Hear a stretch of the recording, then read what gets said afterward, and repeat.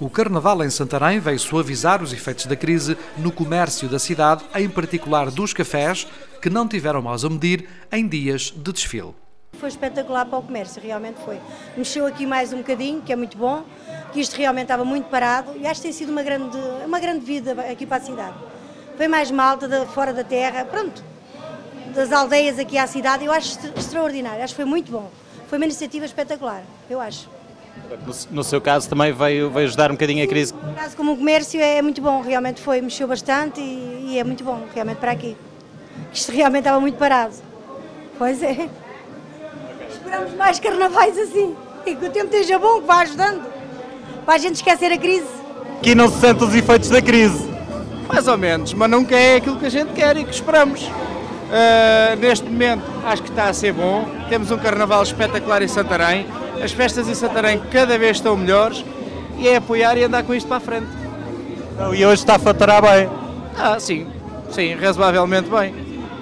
Acha que é, que é uma boa iniciativa e, e, e não se pode queixar da crise hoje, pelo menos? Sim, a crise de hoje é passageira porque isto hoje está bonzinho, está a mexer bem e está, está-se a faturar. Os comerciantes agradecem a iniciativa da autarquia que permitiu um incremento das vendas e ao mesmo tempo aproximou as pessoas da sua cidade.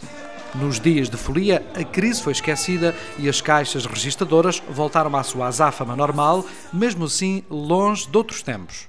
O negócio está fraquinho, fraquinho. Está fraquinho? É, está, está como. Epá, como é que eu ia te explicar? Vamos lá ver. Isto está como o futebol e como, como os políticos. Pá, não há meio de se resolverem certas e determinadas coisas para isto andar para a frente. Mas, mas hoje se calhar vendeu um bocadinho mais, não? Um bocadinho mais, os outros dias estou parado, não é? há sempre uma diferença.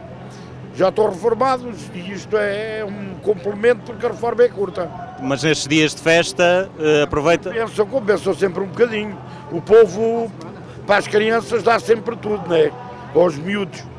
É assim.